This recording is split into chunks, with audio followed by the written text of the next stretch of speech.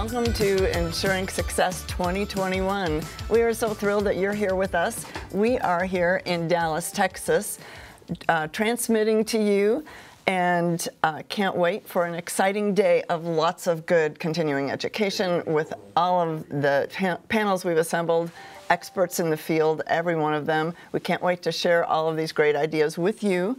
Um, uh, just a brief thank you before we get started with the actual session to our sponsors who are making this event possible. And those sponsors include ADP, CPA Charge, Avalara, BotKeeper, ComplyRight, CorePay, Corvee, CPA.com, eFile for Biz, Intuit, QX Global, Right Networks, SafeSend Returns, Ace Cloud Hosting, Sage, Suralink, TaxFile, Vic AI, Wolters Kluwer, and Xero. We would not be here if it weren't for them, so we are particularly thank you, thankful to every one of our sponsors, and in this case also especially thankful to Suralink, who is sponsoring this particular session. Um, on your screen, I just want to point out if you have any questions for our speakers or any technical questions, any issues at all, you can scroll down right below the video window and there's a button you can click, says, I think it says ask a question, and just click that and you can submit a question, it will come right to us. Um, we'll have a couple polls during this session just to ask you some general questions about who you are. Those are not the CPE polls. If you are planning on getting CPE credit for this session, the way that works is three times during the session, we will announce that there's a number appearing on the bottom of the screen, and you need to write down that number. So you'll collect three three-digit numbers during the session, and at the end of the day or the end of tomorrow, whenever you're ready to collect your CPE, you'll go to the Get CPE option at the top of your screen and enter the numbers that you collected for every session you attended, and you can download your certificates automatically from that. So that's how CPE works. Um, I would like right now to introduce our speakers for session one. And this session one is about remote auditing, which is something that a lot of people are facing right now. Um, so our speakers right now, next to me is Chris Wood, and then Joe Ballantyne and Garrett Wagner. And my co-moderator is Alexandra DeFelice, who will be helping uh, field questions and running our polls and uh, also joining us in the conversation. So I'd like each of our speakers first to give you just a brief introduction to who they are. So Chris? Yes, good morning, Gail. Chris Brown. Uh, I was in public accounting for almost 12 tax seasons and just left uh, back in March to go to work for one of my clients, which is was a a medical college. So now I am on the client side, so I've seen a little bit of both now. Thanks, Chris. Uh, I'm Joe Ballantyne. I'm co-founder and vice president of sales at Suralink. So since 2014, I've been helping firms streamline their PBC document process and provide a much better client experience, working with firms of all sizes, and I'm really excited to be on the panel today. Garrett Wagner, CPA, CITP, uh, CEO and founder of C3 Evolution Group and Evolve Now. So happy to be back here Ensuring Success. It's a great event, and I look forward to this conversation and other ones over the next two days. Hi, Alexandra DeFelice, Director of Marketing and Business Development for Payne & Fears, a law firm that is the name. Um, back here to help Gail co-moderate many of the sessions former, from my former life with Accounting Today. All right, thanks everybody. So there's really nothing like a global pandemic to make us all rethink the way we do a lot of our work, and auditing is no exception. And when I talk about auditing, I think that really also includes um, compilations, reviews, basically the, the jobs that we always used to do on site and uh, may not necessarily be doing on site anymore. Uh, I started my career at Deloitte and although I was in tax, in order to be licensed at the time, I needed to, to put in some time in audit as well. And so I have a very tiny amount of experience myself in the audit field. But I remember the auditors had a file drawer in the office. Each one had a file drawer. And then there was a big work table. And that's where the staff auditors, if they were in the office at all, would camp out.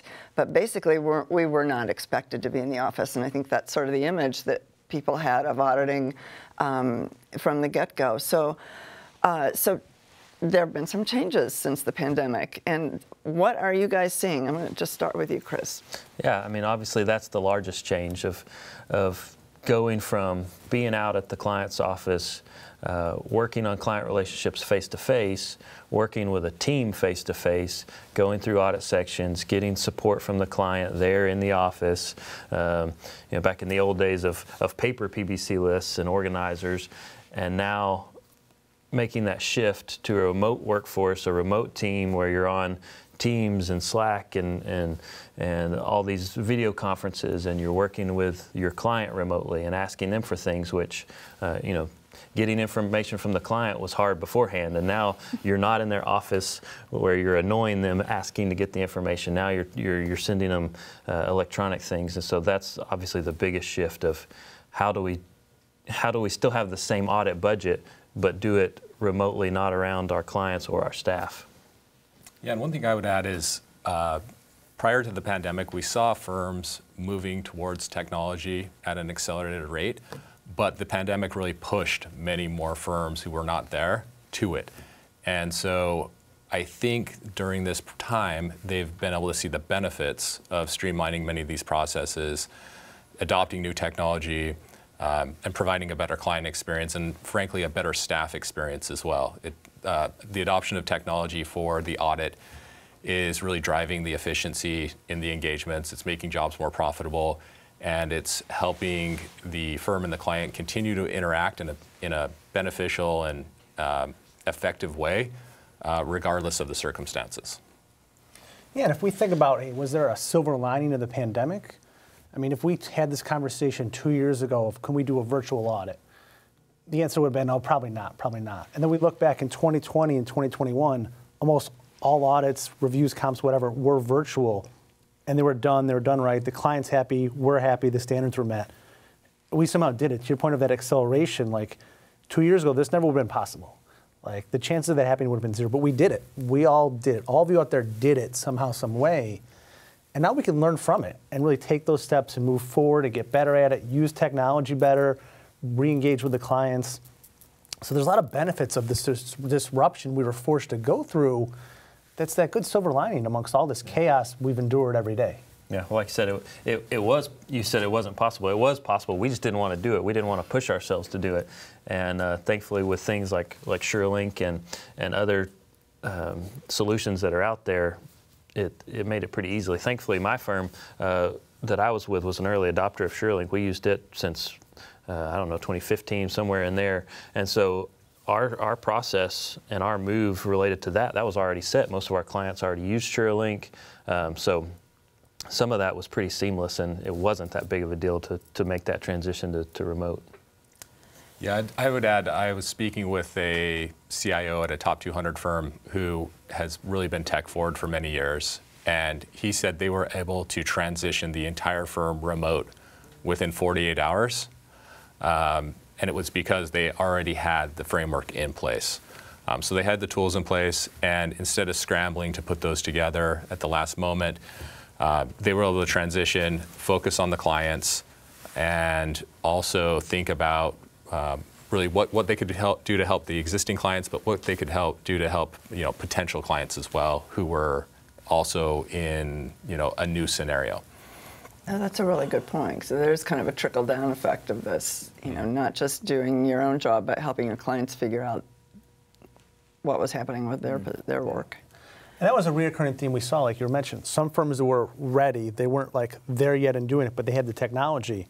They able to shift overnight. Where those firms that didn't, their disruption was tremendous, and they really struggled and they couldn't do it. They couldn't go home and work. They had to invest in technology like immediately to make that pivot. It was so much harder for them where those ones were ready, they wouldn't have done it on their own. But since they had the technology, it was an easy just, okay, we're going to just switch over and we can do this. And that's a good sign. We all learn from that that we can do these things because, like you said, like we thought it was impossible, but we could really do it. Now, how do we learn from it and get better? And you talked about like that challenge to like not be there talking to the client and like tapping on their door a couple hours a day. Like, mm-hmm.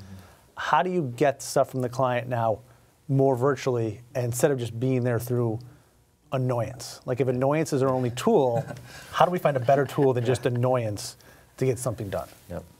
So I think this is a good time to pause. So we're going to be asking several poll questions throughout, as Gail mentioned, throughout today and tomorrow. These are not CLE, uh, CPE questions, but they're rather just to get a feel for what the audience is and, and, and um, what kind of things they've been doing so that, the, that our panelists here can relate to them.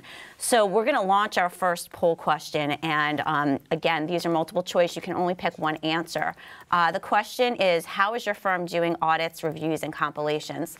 The options are uh, we're doing them all on site, uh, we're doing them all remotely, we're doing a hybrid mix of on site and remote, or we just don't do this type of work. So we'll give you a, a few, a few seconds to um, answer that, and we'll, uh, we'll share the results with the audience.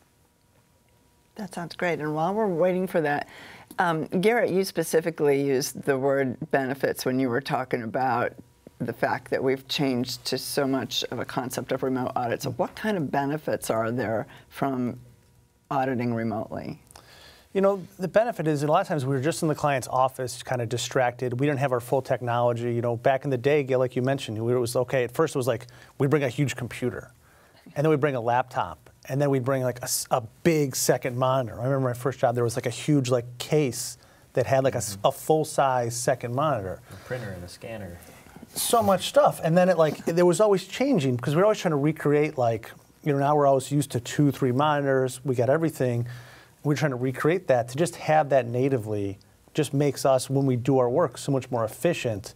Yeah, we're not there. I can't see the client like this, but when I'm doing my actual job, I'm so much more efficient because I have the technology I need. I'm not trying to recreate it like you said, Chris. Like the files, the scanners, the printers, the monitors, all this stuff. Just having it there makes you better at your job because you have what you need to do it natively. And obviously, you're saving on travel time. Uh, you know, a lot of CPA firms still bill by the hour, so those hours in the car, traveling, or on the plane, uh, you know, plus those travel costs and hotels and those things. So obviously, that's a, a benefit for the firm of not having that expense. Um, on the other hand, what is it doing to our relationships with our clients? Is it are you having really good communication with your clients to where through all of this you've built a better relationship and they're even stickier to you? Or has this remote taken away that uh, FaceTime altogether to where you may just be another accountant to them or another CPA? And, and I think that's where uh, we have to be really intentional in this, in this landscape of making sure we have time with our clients to where we're building the relationship and the connection uh, so that they are satisfied with our work and, and with our relationship. Yeah, let, let's continue on that thought for just a minute. But first, before we do, we're going to put on the bottom of the screen the first CPE code for this session. We'll leave that up there for you know 15 seconds or so. Be sure to write down this code if you're planning on collecting CPE credit for this session, and there will be two more coming later in the session. Um, and do we have poll results yet? It looks like uh, people are filling in a form and still voting, so I'll get back to you on that. Okay, that sounds great. It's our first one of the day. We got to get people used to it. so let's talk a little bit more about the relationship with clients and how that's changing and, and what how we need to pivot to make sure that the relationship is still a solid one if we're not seeing them in person and camping at their office, which is what we used to do. I, I can jump into there. Okay. Um, I think when we think about the interaction between the firm and the client, uh, traditionally, most firms, and still to this day, many are sending um, a Word document or an Excel spreadsheet to communicate their document request to the client. Uh, there are a lot of issues that come from this. There's uh, inefficiencies, there's lack of visibility, and there's miscommunication. So staff oftentimes spend a lot of time chasing documents. Uh, their document request lists are out of date. Um, it's difficult during busy times of the year to keep them up to date from a visibility perspective, partners, managers, the CFO on the client side, they have very limited visibility in the process. So oftentimes they're looking to the staff to give them an update on a job that changes quickly. Um, and then finally, from a miscommunication standpoint, the client could tell you, we've already given you this, or everything you need is in the portal. Um, there's a lot of, you know, the client either not knowing where they're at or maybe telling you things that they want you to hear. Um, but conversely, the firm occasionally can request the same document from the client multiple times. So um, if we really think about technology as a way to streamline this entire experience, that's where um, the correct tools can streamline the process.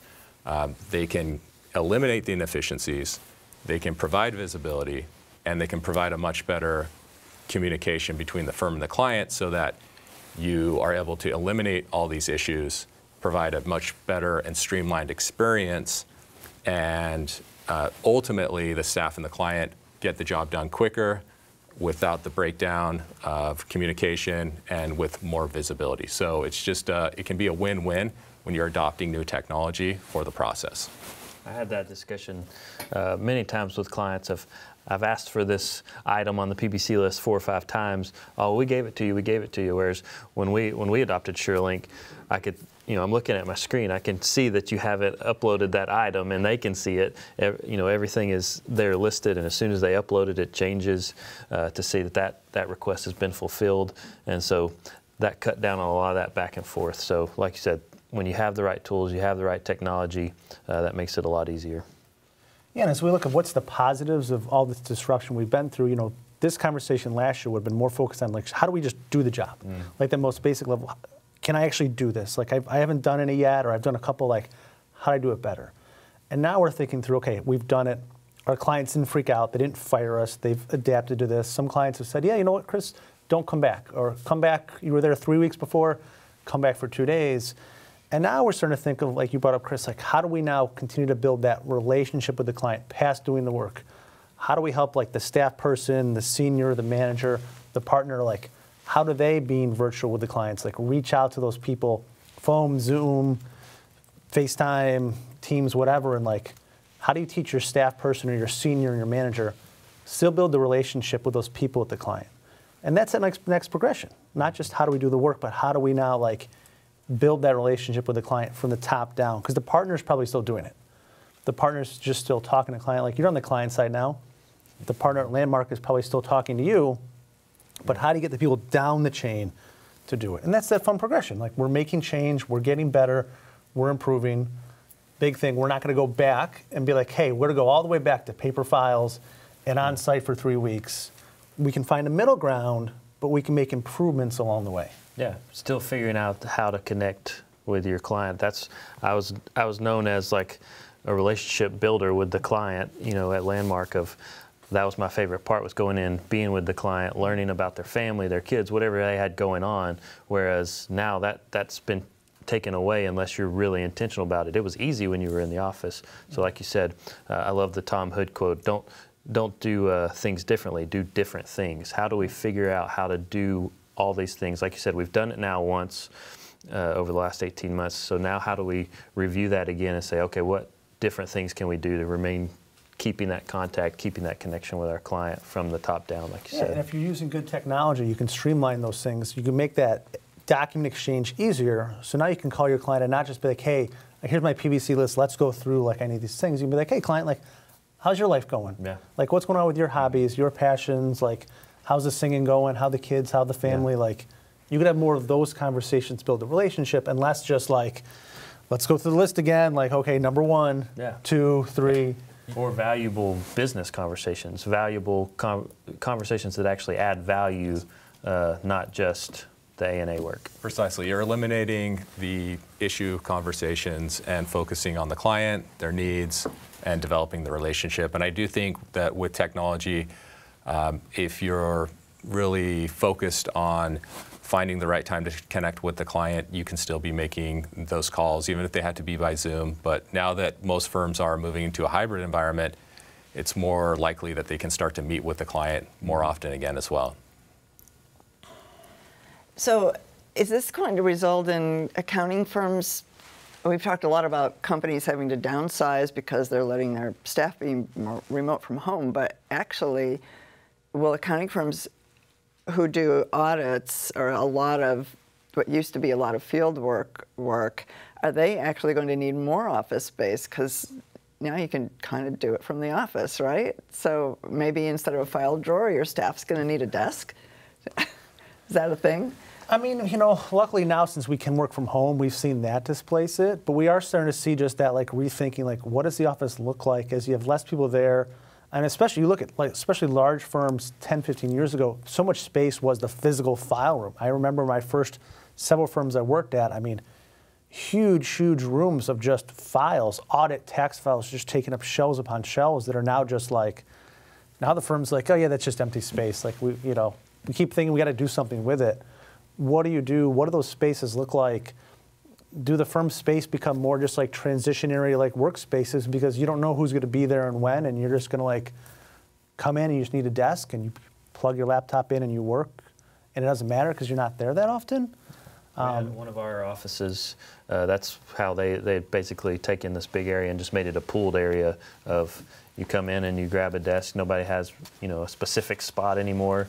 Uh, trying to downsize some of the, again benefits of, of cutting cost of cutting some of that office space.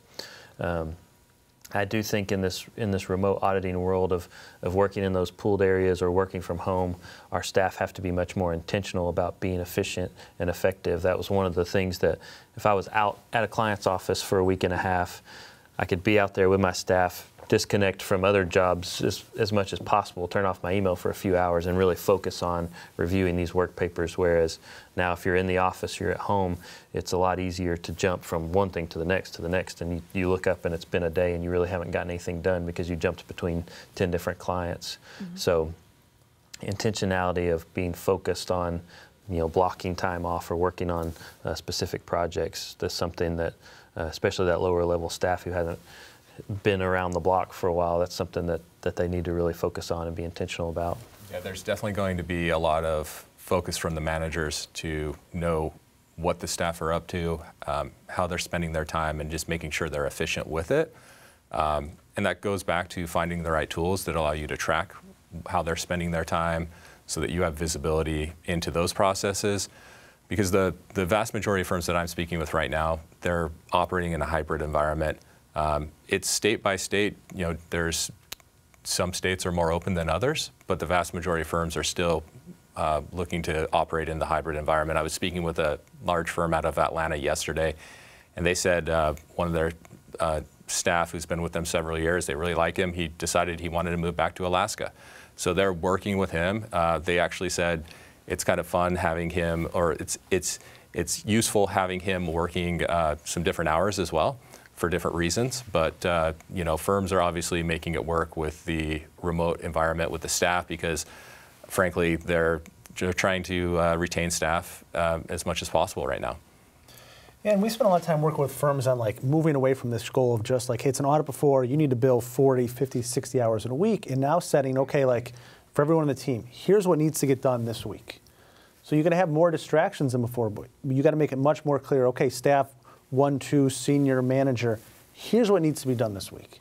And we're going to touch base Wednesday. Monday we set the goal. Wednesday we touch base.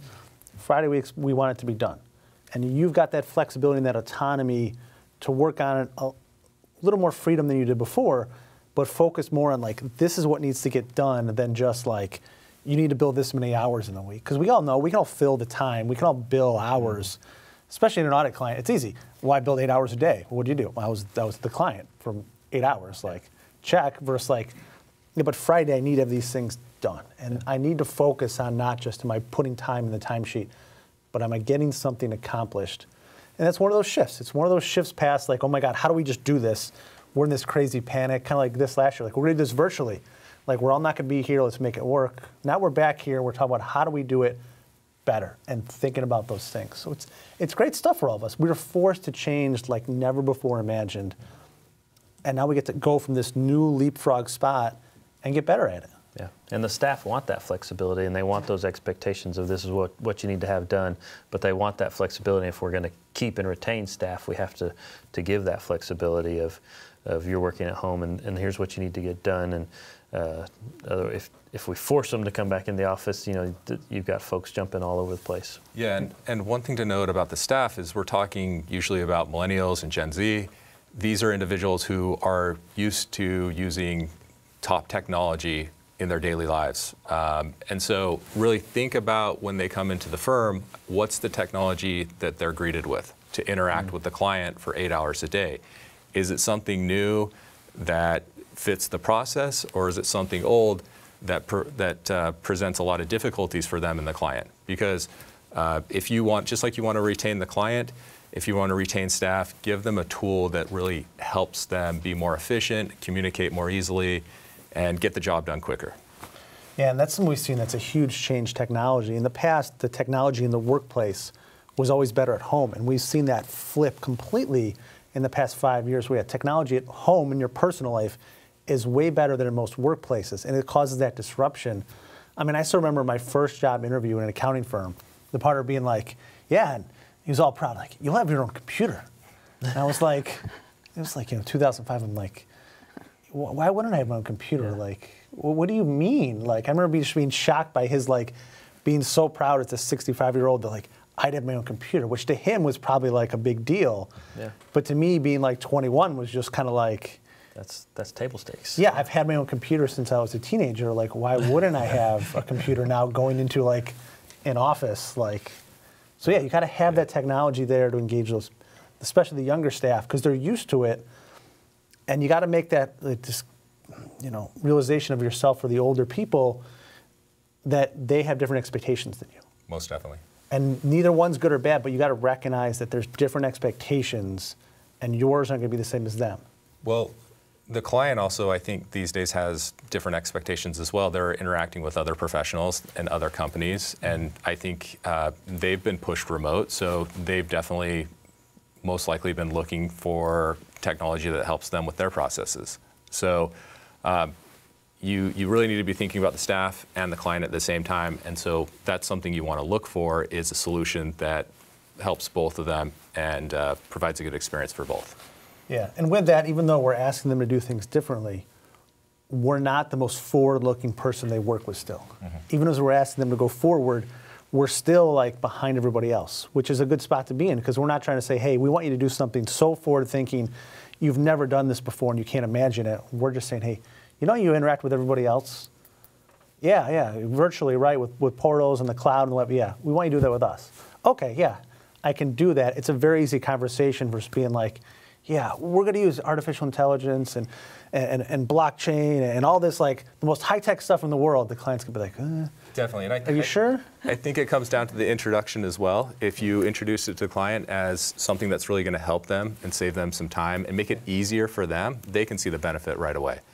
Um, and so that's that's a great way to help them. And then once you go through an engagement with them and you receive the positive feedback, what I've seen a lot of firms start to do is use these tools in their proposal process. Mm-hmm. When they realize that they're saving time and providing a better experience and the clients really like it, they then start to use it proactively um, it, from a business development perspective because they see that uh, they have something that clients are reacting to positively and competitors don't have it. So I have a question about this, but before I ask that, I, I do want to say we're getting a lot of questions about a few people were having problems with the polling software. So we're not going to ask any more polls during this session. We're going to test it during the break, and then we'll give you some more specific instructions on how to answer those. So for those who have, were having trouble. So this is going to be a theme throughout the, the next two days. Is I liked your your your term, the tech forward. Like most of our panelists are pretty tech forward. We've been mm-hmm. doing this for you know eight years here or more, and they they they they're ahead. They're leading the way. And a lot of the questions that our audience is going to have is how do you have those kind? You know, you say we, we need to educate our clients that this is important. We need to educate the older, and it's not always the older guys. Some of the older guys are very tech forward, but we need to educate those people. So what is this? Is this an individual conversation? Is this hand holding? What can you say to them? And then on the flip side, at what point do you say, these guys are just not, they're dinosaurs, they're not willing to move forward, and I don't want them as a client or as an employee? Yeah, so kind of two separate pieces. One is how do we communicate it? And then if they won't get on board, what do we do? So in the second one, if they won't get on board, that's that question we've been talking about for years and years with any firm of any size you know, what's your ideal focus? And there's some sessions on like finding your niche of like, here's what we do, here's how we operate. And if you don't fit that mold, maybe you're not the right fit. So some that won't get on board, that want everything, you know, like, they're like, no, I'm not going to use Suralink or any software. Like, you can come on site and there'll be a huge box or 30 boxes with paper. Maybe that's not the right client for you. And then how to communicate with them, just, I think like Joe was saying, like focus for your client how it's going to help them. You know, they don't want to hear how this is going to make your life easier how this is going to make Chris Brown's life easier to have Suralink or whatever solution, like here's how you're going to help them do their job. Because for most clients, an audit is nothing more realistically, as he's laughing already, it's an inconvenience. Yeah. Like no one's excited to get an audit. No clients are like, this is the greatest thing in the world. Like this is going to make my company. It's something they have to do. Yeah. They're not excited about. How can you make that pain point for them easier and, and really focus on that? I'm sure that's what you see when you help firms as well. Focus on how you make it easier for the client. Exactly. So we provide some basic uh, information for the firm to provide to the client. Makes it really easy for the client to understand that really once they've set up a username and password, they just log in and they see the requests on their screen and they just drag and drop onto them. So we really focused on the client experience and how easy we could make it for them to provide documents to the firm. Um, so they just drag and drop and then automatically requests are fulfilled. So they update live the firm is then notified and they can accept or return the request. And if there's an issue, they can communicate directly back to the client. And so we've really streamlined the entire process so that it actually has become easier for the client. Um, and it's really easy for the firm to communicate this to the client as well. And Chris, I'm just I'm curious, when you were introducing something like Suralink to the client, was it as easy as I just mentioned, or? Yeah, I mean, we I create when we got on Suralink, I basically created a template email to send out to the clients with you know a little snip here of this is what it looks like. Here's what you'll do. Give me a call. You know, I'll I'll call you and check up in a couple of days and see how it's gone. But uh, it didn't take a lot of instruction to, to get the clients on there. But and and now as, as a first year client, uh, you know, the first time I saw it from the client side, I was like, oh, yeah, this basically looks the same from both sides. It's still uh, very easy to use. And I was able to go back uh, on on say the 401k audit that I'd never been involved with on the uh, firm side and and go back to last year and see all the things that had been dropped in there. Okay, that's what I need to recreate. That's what I need to find. And so just user friendly was was great. And, then to Garrett's point, as the first year client, like you said, my, my outlook of the importance of the audit has changed a lot from going from the auditor to now the client. It, uh, yeah, it, it, like you said, inconvenience maybe, yeah. but uh, not as important maybe as I thought it was at one time. and we want to hear more about that too. But we're going to take a really quick break. First of all, we have a, um, a commercial break from our sponsor Suralink, and when we come back from that brief commercial, we're going to show you the second CPE code for this session. So we'll be back in just a minute. We've all been there. You're ready to start a tax audit or advisory engagement, and you need to request documents from a client or team member. In the past, you'd have to set up cumbersome spreadsheets to track these documents and request lists, and waste time trying to keep them current.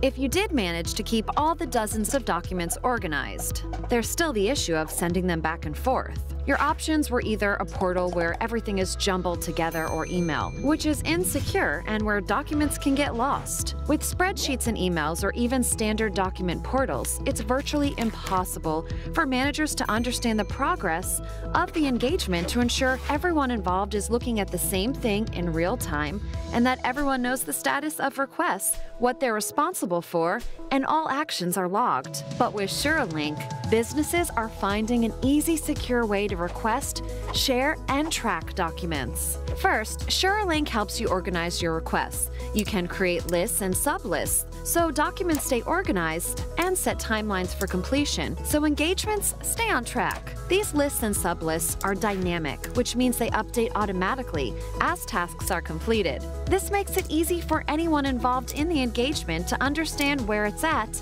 and what still needs to be done. Next, you invite users. You can add team members and clients to projects so they know what documents to provide and when. And you can lock requests so only assigned team members can access them, ensuring private information like salaries or financials stay private. Once they have been invited to an engagement, your clients can easily transfer any type of document of any size by dragging and dropping, and every action is automatically recorded so you have a clean paper trail that provides accountability for your team and your clients. Finally, anyone from staff to managers can get real time updates and follow the progress of requests, all while communicating with clients through integrated chat. With enterprise banking level security, an easy to use user interface, and unlimited storage, Suralink gives you everything you need to quickly and efficiently manage your document and approval workflow process. Suralink, a better way to work. Welcome back. We would like to put the second CPE code on the screen right now, so it should appear on the bottom. You're going to want to write this code down if you plan on collecting CPE for this session. Um, there will be one more code before we end the session, so there are three codes that you keep track of for CPE. Um, and we would like to get back to the conversation. We're going to start, but Chris had just uh, whetted our appetites with information about what it's like to flip from being an auditor to, to being audited. And that's sort of a, an experience a lot of people on the audit side really don't have. What, so, what's that personal experience like when suddenly you're the client? Yeah, well, I've only gone through it once, and it was, it was kind of a blur. But, uh, we went through a software transition right at year end 7-1 and then started the audit and, and, closing the year and getting ready for board so it was, it was a, a blur of a, a month and a half there but uh, thankfully, had a great audit team, which I can say that because I trained most of them. You know, they, they kind of took took my spot. Um, but it was definitely I could see even even me knowing that these requests or these questions, I knew the purpose behind them. There was a couple times I even felt like a little nervous. I was like, well, why are they asking this? And and obviously I was only there for part of the year, so I was like, oh, I don't, you know, I could play that game of like, oh, that was the previous guy. I don't, I don't know the answer to that. You'll have to ask somebody else. But uh, I can see why clients would get got nervous, you know, when we would ask these questions of, you're being audited and you feel like you know they're looking for things even though I knew that that's not what what exactly they were doing they were just trying to get the work done and get through their sections and document the way they needed to document but it was definitely an interesting shift of uh, this is this is a little different feel but I could say that uh, thankfully the process went great we didn't have any findings or anything like that but uh, it was it was an interesting transition so one similar story to that, uh, our CEO, Tim Ballantyne, my brother, uh, it was when he transitioned from being an auditor to the client side in industry that really made him realize the issues with the PBC document process. He had always been frustrated with them as an auditor, but then when he was on the client side, receiving the PBC list um, in Excel, having to start tracking those manually, that's really what spurred him to want to create a solution for the process. So um, just thought that would tie in yeah, well. That's awesome. Yeah. So, Alexandra, have we gotten some questions from the audience? We did. We've gotten several that kind of all overlap. So I'm just going to kind of throw out this huge bunch of questions, but they want to know um, can we talk about new ways to schedule audits? Um, communicating with clients, I think we've pretty much gotten a time of that um, handling documents, and then also managing time. That's a lot. So whichever one of those you guys want to focus on first, uh, have at it. You know, we can start with just the first one there, like new ways to schedule audits. You know, part of it is that, okay, if that realization is we're not going to be on site anymore, as a firm, you've got to decide are you then going to kind of stick to the old model of you're going to block off a week of someone's time to just do this one audit and you wanted to focus on that? Or you go a little bit more hybrid of, okay, I'm going to schedule now for two audits in a week and block it off. And that's something we're still like, there's no right or wrong answer because it's all so new. We're still feeling out what do you believe is going to work best for your firm and your team. You think you still need to focus on just, okay, Chris, your team is just doing this audit for this time period, and that's it? And you give maybe the flexibility that if they get closer to the end, you know, Chris, you're in charge of this audit. You can peel off these people and say, okay, they're done they can now go to their next assignments. You know, that's all a new, different part for us. But otherwise, most firms that we work with are still scheduling very much like they scheduled pre-pandemic of just like, here's when the audit occurs, here's the team, their schedule is blocked off. We're not seeing many firms jump into something totally different of a very much more hybrid scheduling approach. Yeah, I don't think uh, there's probably many firms that are even thinking about that or discussing yeah. that. Um, You had mentioned something before we came on earlier of this morning of a firm that you had talked to who was you know how we pull tax returns you know you have the, the shelf out there where all the tax returns are and, and, any staff can go out there and pull a tax return on the tax side and you're talking about a firm that's looking at doing that on the audit side of here's a pool of work and they can just go pull which seems yeah, that kind of blew my mind for a minute. I was like, I, that'd be a lot of extra documentation of adding all these people that maybe touched the audit. But uh, so um, it's it's neat that firms are again looking at doing different things. Uh, but yeah, I, I don't think there's probably a lot of firms that are thinking that far ahead. Yeah, the point that they had made was they were adding additional people to engagements so that they would be notified immediate when, immediately when document requests came in, and then the first available staff could quickly uh, go to the request, look at it, accept it or return it, and just push the engagement forward quicker. Mm, so that was that was their view of it and kind of how they were handling that scenario. And I think uh, on the time management side, you're in a situation where it used to be you would go camp at the client's office mm-hmm. for a week and you might have downtime and all, but your focus is just on that client.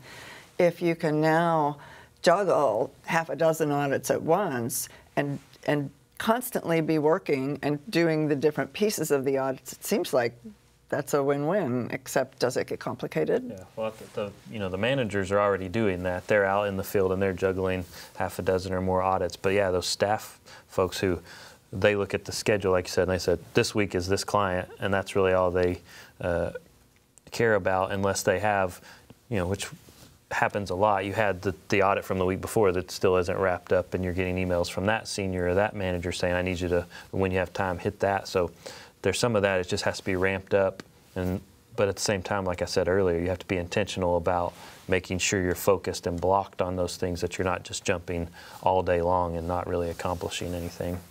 Yeah, and that can be that shift to work with your staff people to say, because we all remember being a staff accountant on audits. There was a lot of downtime because, like, you're the last landman on the totem pole, and if there's a manager, they're trying to oversee three or four other people, their own work, partner multiple other jobs. Mm-hmm and they can't like help the three staff people like right away. So you got some downtime. So it's more of a firm decision. Like, do you want to tell that staff person you're now on, to your point, Gail, four audits this week to better fill your calendar? But if you do that, you now need to better help manage that new staff and provide them some more direction on like, here are your goals and objectives. Here's what needs to get done. If there's a problem, here's what you do, and here's how often someone's gonna, that manager's gonna check in with you to make sure we hit those objectives. Because otherwise, you go from them having a ton of extra time, which isn't just wasted time, which isn't good, to giving them like six audits, and you create a whole different problem. So we just got to watch that pendulum swinging the other way. And Chris used the word intentionality a lot. If you're going to do that, you got to be intentional in how you're going to structure that, how you oversee them, how you're going to assign the work, and really spend a lot more time up front thinking through okay, for these three staff people, what work do I give them? How many audits, what's the check-in process, what's the follow-up process. There's a lot to it. It can work, but we can't just throw it out there. Here you go, Chris, take six audits as a staff person. Like, go. It's going to be a train wreck, and they're going to sit back, typical firm thing, and be like, this didn't work. This was a waste. Like, we're going back on site. Yeah. You're like, well, the on-site or not wasn't the problem. Like, yeah. the problem was you gave the audit, the staff accountant six audits in a week, and just tell them to go at it. And yeah. guess what? Nothing got done. And a lot of these discussions that we're talking about, it's how are you the partner or uh, the manager? How much time are you spending in the, the practice versus how much time are you spending on the practice? These are discussions that need to be taking place, but because of the never-ending tax season of the last 18 months with with the pandemic and PPP and all these other things, I think the, the, the, partners and the, and the people are just drowning. And it's like they don't have time to think through these things because they're, they're spending so much time in the business that they're not getting to spend any time on the business of strategic planning and thinking. And so that would be the question I would ask this morning of how much time are you spending on the business versus in the business? And you need to, to set some block time to, to think through these questions and what kind of firm do we want to be and spending more time uh, on the business than just in there doing the work. Yeah, Chris, I just actually I've been hearing that from more and more firms as they kind of get out of the pandemic of they've been in this just like, how do I get through every single day mode? Yeah. And they've really put a lot of that long-term planning even more on the back burner, and they're starting to feel that pain more and more. And I just wrote about this for Practice Advisor, like, yeah, because what happened? We had that choice. Do I focus every day on the chaos, or do I still block off time to plan for the future? And we all kind of said, ah, chaos. I got to get through today. Yeah. What do we stop doing? We plan, stop planning for the future and now we're paying a little bit of that price. And we got to swing it back a little bit more of, okay, let's take some time. How do I plan for this? How do I schedule these audits? How am I going to make them work now in a virtual or hybrid world? allocate my resources, leverage technology. How am I going to use the rest of December to think about how am I going to do all these things instead of just like I'll wait till like March, February, and be like, oh yeah, we're back again. Like, oh yeah, I saw I saw a thing for Suralink back in December. Like, it's March 15th, and this is a pain. Can I use that now? And you're like, it's too late. Like, you missed the boat. It's a great time to reassess your technology stack. Like every firm should be doing that at this point, um, and really thinking about what they've learned through the pandemic. What were their issues, whether with staff, with clients? Was it scheduling? Was it billing? Uh, was it client inter- interaction? Um, so reassess the tech stack um, and start to make some strategic decisions before uh, you continue just to stay behind the curve. Um, I want to just have our third CPE code posted on the screen right now. So uh, if you're keeping track of codes for CPE credit, be sure to write down this three-digit code. This is the third code for this session. Um, also, I've got a question that came in from the audience that I think uh, is pretty relevant to this whole topic, which is how do you compensate for the ability to spot possible problem areas that you used to spot while you were in the field? It seems like relying on verbal assurances isn't quite enough. So, and Garrett, I know you wanted to talk about risk and issues, so I think you should start with it. Yeah, I mean, one of those things like, you know, that common misconception of like, how much is an audit supposed to detect fraud, anyways? You know, the standards say we need to remain professionally skeptical and aware of what's going on, but our goal is not to suspect fraud. And yeah, just like before, if you're asking someone a question, you need to listen to their answer. You know, you can verify it through some looking at documents. Use our judgment. If you feel like there's a problem, whether you're in person or virtual, you think the client is being dishonest to you, you know, frankly, in my experience from the firms I've worked with, my own career, that's pretty rare. Like that's a pretty like high standard, and not many firms have been through that. If you have, there's sure to be a red flag going off of like, this is a problem. We need to document this, and we need to consider the ramifications, and maybe we disengage from this client. Yeah. Like if you have a situation where you're worried that your client is lying to you on an audit, you probably there's probably bigger risk than that because you're probably already looking past other things. That's a that's a rare rare statement do I hear from firms ever like, I'm worried my audit client is lying to me. Yeah. But we do need to beef up that risk assessment as far as making sure we're asking those questions of, of what changed in their controls when they maybe all went home. Are things getting reviewed? Are things getting two people looking at them? Or was it, again, kind of like in our business, we're just trying to survive and they were just doing everything they could to survive and, and those controls went away, making sure we have a, a maybe a separate risk assessment for what happened during that time period. And uh, but that, that is important to make sure we're, we're updating our risk assessment and not just rolling it forward, SALY, and, and moving on. So, what else um, do we want to make sure we cover before we we approach the close of this session about what we're looking for in the way of change in audits and and what do we kind of see? What's our crystal ball? Is how how are audits going to look in the future? Is there a push among firms to can we just get back to the old days? Can we get back to normal and have people out in the field and do what we used to do? Um, are we going to stick in a hybrid area, or what do you guys see as the future of audits, and in particular, remote audits? I don't see the I don't see it going back to the way it was. I think the staff enjoy the flexibility. They enjoy uh, being remote. I think um, I think we can get more work done that way. And so I see that hybrid. I see the need for that face to face with your client to build those relationships. But like Garrett said, it may not be being out there in front of them for two weeks so that they know you're working on it. It may be coming out for two or three days to do that planning, to do the risk assessment, to ask those inquiries, to do your inventory observation or, or other things like that, and then stepping back and uh, allowing the client to have some space and you to have some space to get things done. Yeah, I think we'll continue to see firms operating in a hybrid environment.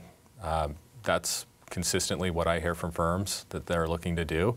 So I think firms just need to continue to question how they can use technology to supplement their processes, um, to provide a better client experience, to have more efficiency, get their jobs done in a better way, and uh, continue to operate that way. Yeah, I think Gail, you can ask like, what are audits going to look like in the future? I think the fundamental of what an audit looks like isn't going to change quickly because the standard settings board, they're not a fast-moving governing body Like the level that we have to comply with is going to take forever to change. So there's be that slow progression. But no matter what, and we've talked about this forever on the audit side, like we need to be better about risk assessment. That's one of those common findings, whether it's the PCAOB or non-public audits. What do we not do a good job of today, whether we're hybrid or in person? Risk assessment. Like we're really bad at that as auditors, and that's something we can push to be better at. That doesn't really involve technology. It involves us sitting and thinking, doing, how do I do more planning? How do I think about where do the risks actually sit? And how can I not, for cash, do the same 20 audit steps I've always done? But what are the maybe five that matter on this client? And I'm going to do those five really well. And I'm not going to do these other five or 10 or 15. And really focus on that. And then, you know, if you can do the work better, like Chris said, you know, build that relationship. Spend more time building that relationship with the client, getting to know them, interacting with them, find ways to add value. All those good things, the client's to be happier hmm. for it as a result. So there's good things coming, and yeah, just just don't go back. Don't go back to full time in person at your firm, at the client, wherever it is. You made so much change. You did a great job. Embrace it and move to the future. All right, we're out of time. I would love to continue this conversation, but thank you all so much for being here. Chris and Joan Garrett, great job. Thank you to Suralink for making this session possible and to all of our sponsors for making this event possible. Thank you all for staying with us this first session and don't go away because our next session is going to be looking at new tax legislation and how that relates to your long and short term planning for your clients. Uh, also stay here because we're just going to have another brief word from Suralink. And we will see you at the top of the hour.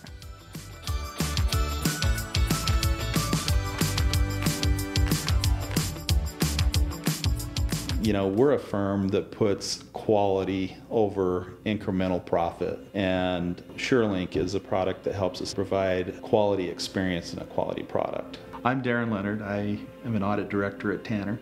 We are the largest locally owned CPA firm in Utah. Before Suralink, our document request system was very cumbersome. We had to create it from scratch. It had to go through a major review process. It was common to hear from a client that, oh, I've already given that to you because everything wasn't in a central location. And I personally, I had a client say, we love everything that you're doing for us, but uh, we, we sure would appreciate a secure transfer system we actually just kind of stumbled onto Suralink um, and loved it from the very beginning.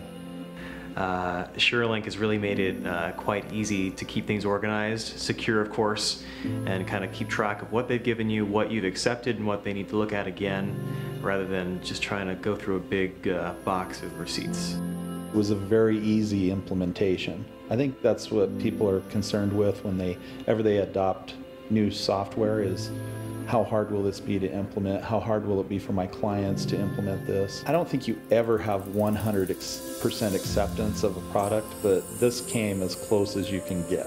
Tanner let me do this year-long program that's designed for working professionals. We lived in 12 different countries all over the world. Suralink was great anytime, day or night, because I was always working in different time zones. I could just pull up whatever the client provided, not have to bug them or wait till it was 8 a.m. in Utah so that I could get working and Portugal or wherever I was.